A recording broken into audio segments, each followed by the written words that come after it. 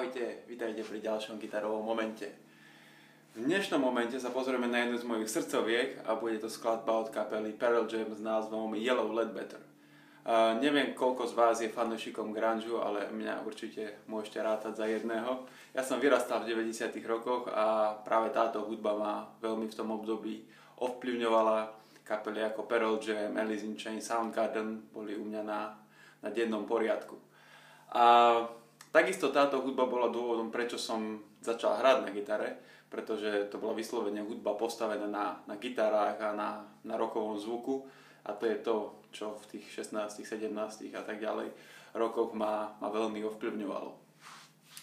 Čiže vybral som vám jednu skladbu, ktorú ja mám osobne veľmi rád a ten dôvod, prečo som vybral práve túto skladbu je to, že táto skladba je inšpirovaná Hendrixom a je to taký pekný úvod, a na to, keď niekto sa chce začať trošku venovať tomu spôsobu, spôsobu hry, ako hrával Hendrix, čiže spájal akordovú hru spolu s vyhrávkami alebo so solovou hrou.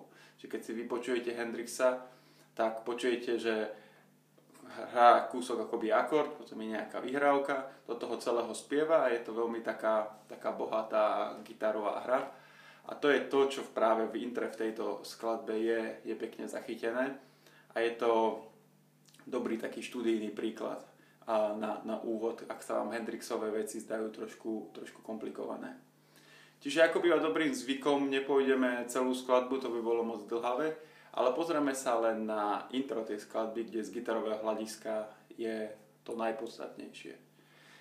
Pri takomto type skladieb e, nie je dôležité až tak e, ísť notu po note a teda naozaj sa učiť presne, čo sa, čo sa kde, kde udialo. To nebude ani môjim cieľom vám teda dnes ukázať. Skôr vám chcem ukázať tú podstatu toho, ako sa môžete k takému typu hry dostať. Čiže ako vzniká takéto kombinovanie akordov a vyhrávok, akú vyhrávku zahrať cez aký akord, čo môžete urobiť, čo nemôžete urobiť a tak ďalej. Čiže stačí sa pozrieť na live verzie napríklad tejto skladby a uvidíte, že to intro za každým znie trošku, trošku inak. Čiže čo hovorí o tom, že ten gitarista už má výbornú orientáciu na hmatníku, pozná tie, pozná, čo si vlastne môže dovoliť, kde sú rôzne akordy, ako ich ozdobiť a tak ďalej. Čiže to je to, čo by som vám dneska chcel, v, tomto, v tomto gitarovom momente ukázať a dúfam teda, že na konci z toho vyjde aj vám nejaká pekná verzia s rôznymi, s rôznymi vyhrávkami. Čiže poďme sa pozrieť, ako toto intro je zahraté. Takže skladba Yellow Ledbetter, to intro je postavené na, na troch akordoch. Konkrétne je to E-dur, ktorý trvá 4 doby. Ide to do H-duru, ktorý trvá 4 doby.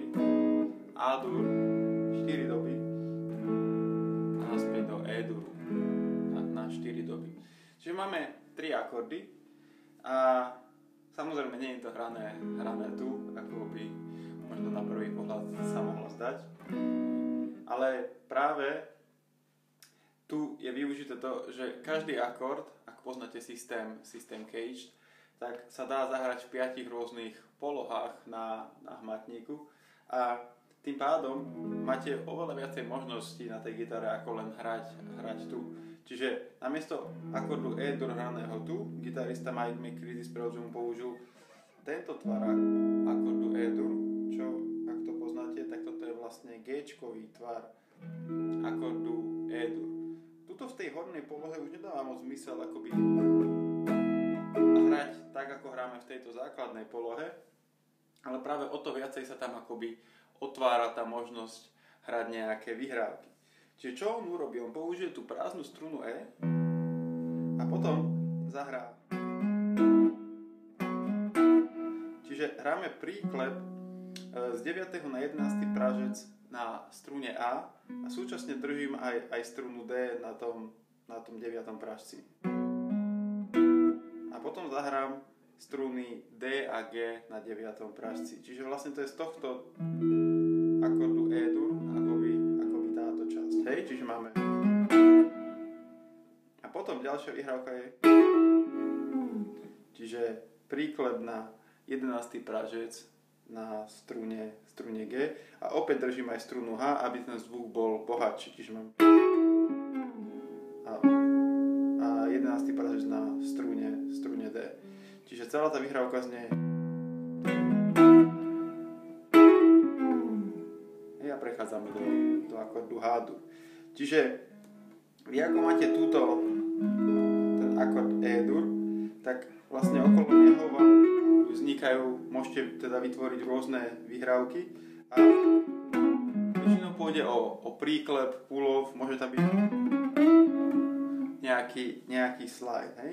Čiže určite sa oplatí naučiť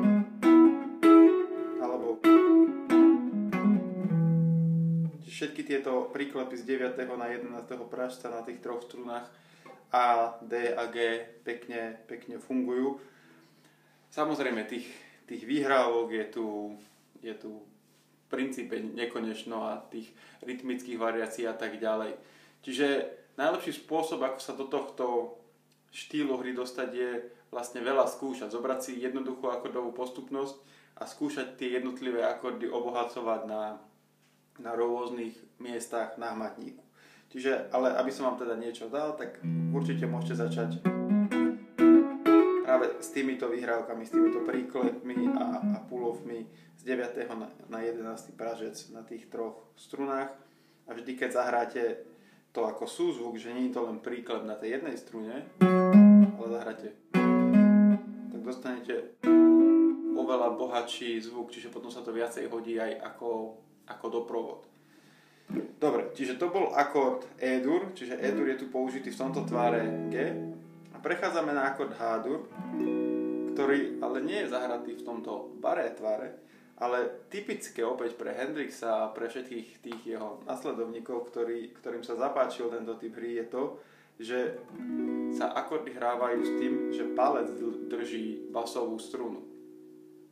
Čiže namiesto takéhoto baré tvaru ja obetujem tú strunu A, ktorú vôbec nedržím, palcom chytím strunu E na, na 7. pražci a potom dorobím vlastne zvyšok toho akordu. Čiže preskočím strunu A, a potom má prsteník na 9. pražci D struny, prostredník na 8. pražci G struny a ukazovákom držím posledné dve, stru, dve struny na 7. pražci. Čiže mám takýto tvár akordu, kde tá A struna je zatlmená. A čo to prináša do hry je to, že vlastne mi ostáva malíček voľný, ktorý mi ostáva voľný práve na tie na tie, na tie vyhrávky, ktoré môžem teda k tomu akordu ako keby, ako keby dorábať. Tento tvar je na začiatku pre 99,9% ľudí veľmi divný a, a ťažko sa im dostáva do ruky.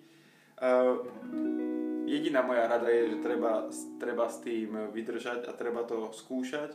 Treba naťahovať ruku pravidelne, aby ste, aby ste dočiahli čo, čo najďalej. A ono sa to postupne začne trošku naťahovať a stále viacej a viacej vám toto príde ako, ako prirodzený hmat. Nemusíte mať až takú veľkú ruku, hoci Hendrix určite má veľkú ruku, ale, ale videl som už aj ľudí s malými rukami, ktorí dokázali, dokázali tento hmat chytiť.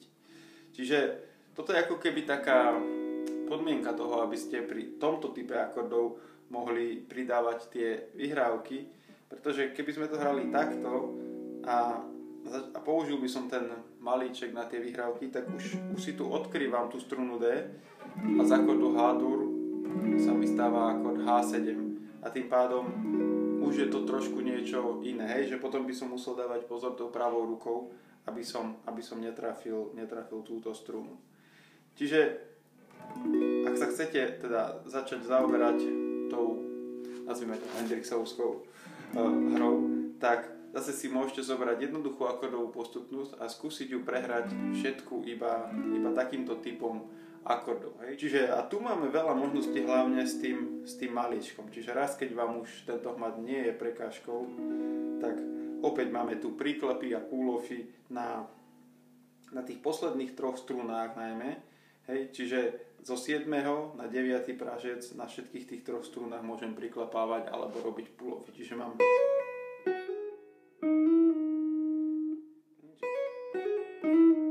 a zase môžem zahrať viacej tých strún. Čiže mám, potom sa dostávam k tým, k tým súzvukom. Čiže keď priložím maliček k tomu akordu H-dur, tak dostanem akoby akord H a 9, keď ho, teda keď ho dám na, na tenké Ečko.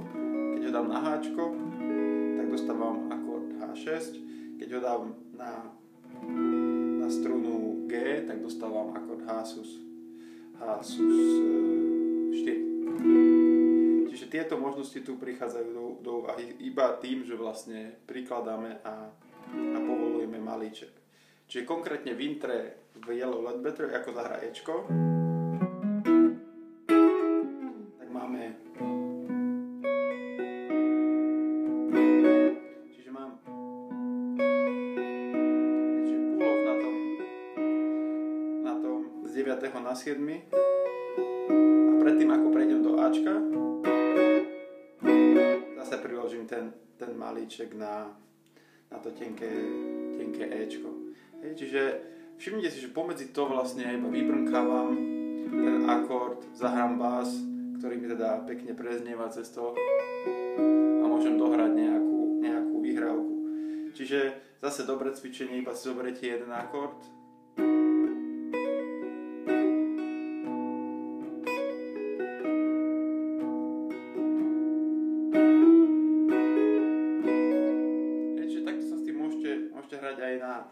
jednom akorde, aby ste si zvykli na tie, na tie pohyby toho malička, lebo zase ten maliček on je taký slabší a treba sa trošku s ním naučiť manipulovať. Ale vždy sa to dá zjednodušiť, že ostanete na tom jednom akorde a tam sa to naučíte a potom začnete, začnete pomaličky expandovať a učiť sa uh, ďalšie vyhrávky alebo spájať to, spájať to s iným, s iným akordom. Na, na Ačku máme niečo veľmi podobné. Čiže ak sme robili, zase to tu začína. Zahrám ten akord s tým maličkom na, tentokrát na 7. pražci, hej, na strune E. A urobím pull Príklad pull na, na G strune.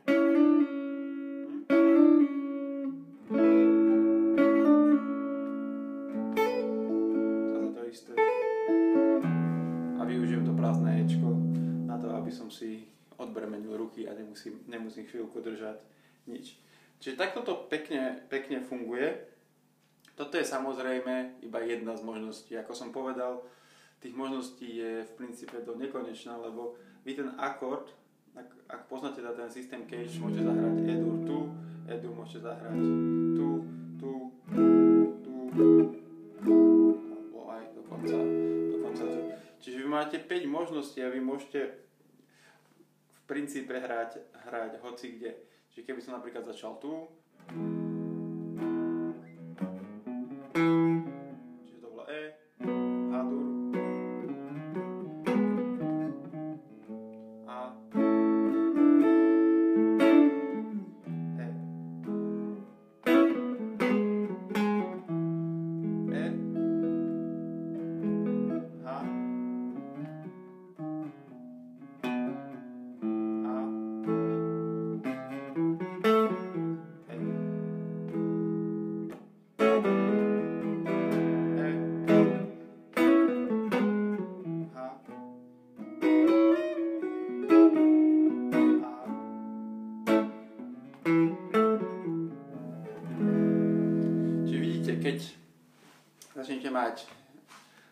orientáciu na tom matníku a, a viete tie akordy zahrať na rôznych miestach a ku, každém, ku každému tomu akordu, ako keby už máte výbavu rôznych, rôznych vyhrávok, tak sa vám môže tá hra takto pekne prepájať.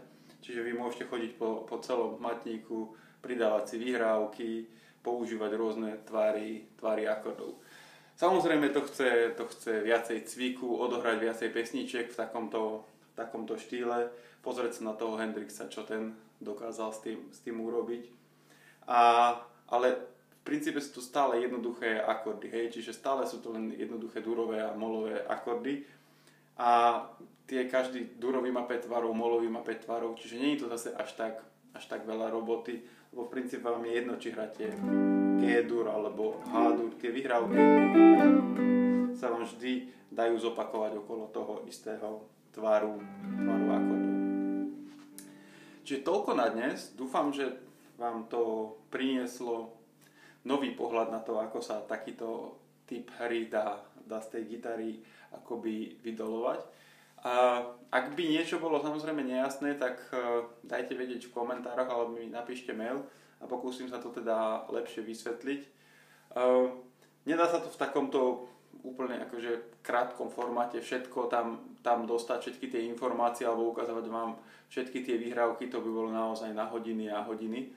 Ale dúfam, že to aspoň poslúžilo ako, ako taký zaujímavý úvod, že ako vôbec takéto niečo je možné a už vlastne vaše vlastné samoštúdium vám potom pomôže k tomu, aby ste si nazbierali viacej tých vyhrávok, aby ste sa lepšie zorientovali na tom matníku. Takže majte sa pekne, ak sa vám video páčilo, dajte like, ak sa vám nepačilo, dajte tiež like a vidíme sa čoskoro pri ďalšej gitarovej lekcii. Majte sa pekne.